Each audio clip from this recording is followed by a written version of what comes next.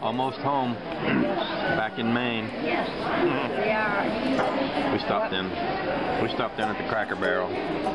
They don't have a lot of Cracker Barrels in Maine, so. This is it. But we actually picked up a, uh, a an audio. I, I, I called it a book on tape at work the other day, and somebody said, "You mean an audio book?" You're writing that book on tape. Yeah. Anyway, You're right, we, Johnny. we we picked up a book on tape on the way down and brought it back to the Cracker Barrel on the way back. That's a pretty good deal. It is. Yeah.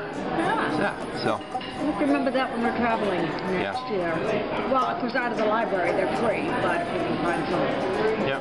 it's a good deal. So we'll be home soon. Yeah. I'm ready to rumble. How about you?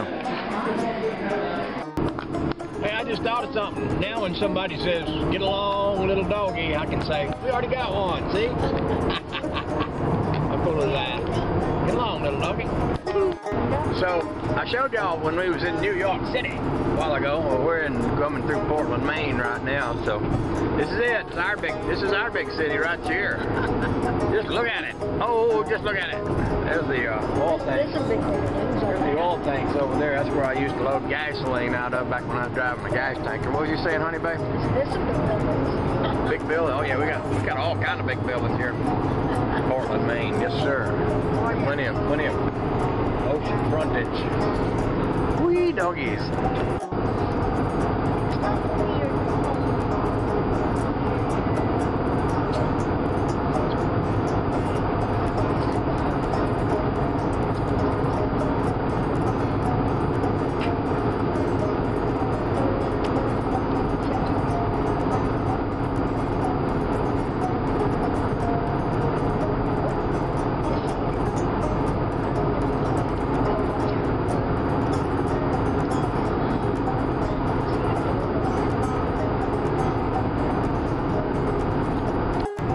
I just make this shot just to show y'all the difference between living in Maine and living in New York City. Ain't no cars around here much. Oh, I like that. That way, if I want to have road rage, I can just have it all by myself. I get that way sometimes. I get real rageous, you know. I get outrageous. I get as outrageous as I want up here, and it won't bother anybody. Right, Charlie?